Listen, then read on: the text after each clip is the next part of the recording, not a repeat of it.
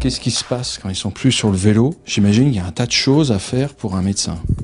Bah déjà, c'est les aider à récupérer. Et puis, euh, quand ils sont malades ou quand ils sont blessés, eh de les traiter, de les soigner. Et si possible, avec des méthodes non agressives et qui ne génèrent pas d'effets secondaires et qui leur permettent de récupérer le plus rapidement possible. Le traitement, les soins, ben moi j'utilise beaucoup de physiothérapie, l'acupuncture, le laser, les ondes électromagnétiques, euh, les ondes de choc mécanique. il y a un certain nombre d'outils à notre disposition qui permettent de répondre aux besoins du coureur et de pouvoir lui permettre de repartir le lendemain et comme ça pendant trois semaines. Pour euh, soigner un coureur, parce qu'il leur arrive euh, un certain nombre de petites blessures. Donc là, j'utilise sur une petite tendinopathie qui est pas une petite souffrance du tendon du vaste interne qui n'est pas très méchante, j'utilise une technique à l'aide du, du laser rouge et infrarouge selon le trajet des méridiens euh, d'acupuncture.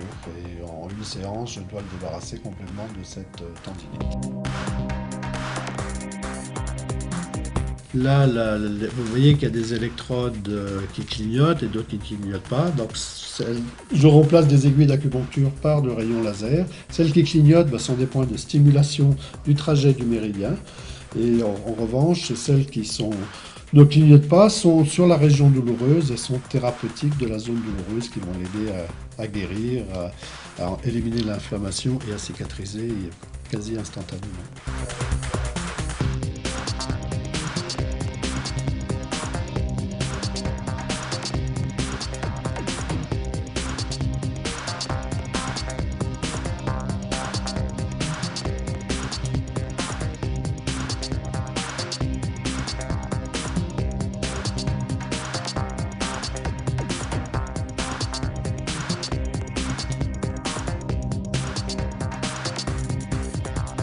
Donc là, c'est une autre séquence de soins avec un autre coureur qui présente euh, une douleur de la partie basse de sa loge externe de jambe. Euh, oh, je ne peux pas parler de tendinopathie, mais c'est une petite irritation. C'est pour ça que j'ai choisi d'utiliser des ondes électromagnétiques pulsées pour leurs propriétés antalgiques et décontracturantes. Donc on fait cette séance-là pendant 3 minutes, qu'on répète deux fois. Et en général, c'est suffisant pour euh, réparer la, petite, euh, la petite lésion. Tout simplement, par ces ondes électromagnétiques pulsées, permettre de, de travailler la polarité cellulaire à ce niveau-là, qui est toujours perturbée en cas de lésion.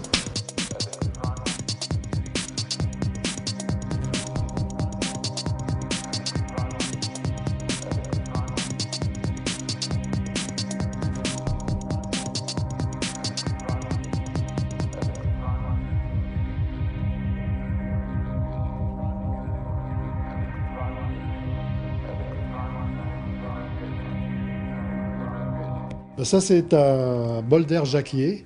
Et c'est ce qu'on appelle l'oxygénation biocatalytique. Donc on vient de voir Sandy là qui vient d'utiliser cet appareil. Ça a plusieurs propriétés. Bon d'abord lui il avait accessoirement une petite séquelle de bronchite qui traînait. Donc ça ça va l'aider un petit peu à éliminer la, fin de sa bronchite. Ensuite euh, cet appareil euh, permet à l'oxygène de l'air de venir euh, débrasser et mélanger à de l'essence, une huile essentielle de pain et qui a pour propriété petit peu on va dire, d'ouvrir les bronches, d'aider à mieux respirer, d'oxygéner l'organisme et en plus ça a des propriétés un petit peu immunostimulantes.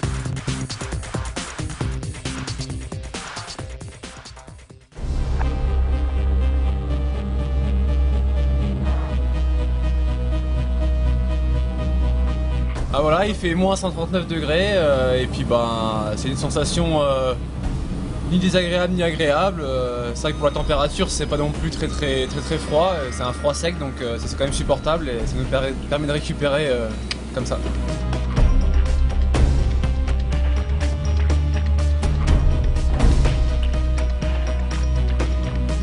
Donc là, on n'est plus dans la partie thérapeutique, partie soins, mais dans la partie récupération.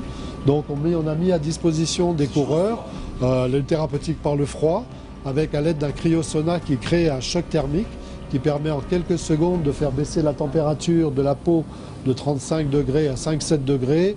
Et ce, qui, euh, ce choc thermique va créer un certain nombre de conditions qui vont avoir des propriétés anti-inflammatoires, antalgiques, anti-œdémateuses, anti-hémorragiques, favoriser la transmission de l'influx nerveux, augmenter le, débit sanguin dans un deuxième temps, ou dans un premier temps d'ailleurs, euh, pour euh, avoir aussi un effet détoxifiant.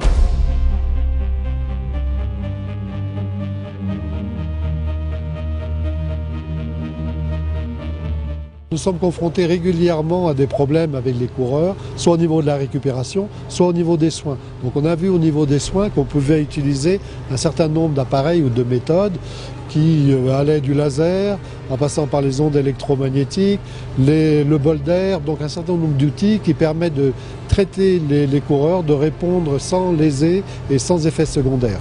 Et puis avec la cryothérapie corps entier, on a vu que c'était le meilleur moyen de récupération que l'on peut mettre à la disposition en les aidant surtout à diminuer la, douleur. Et c'est un des intérêts de la cryothérapie d'ailleurs, c'est de revenir à son indication initiale, c'est-à-dire la mise à disposition de sujets qui souffrent, soit à cause de rhumatisme, soit en post-traumatique.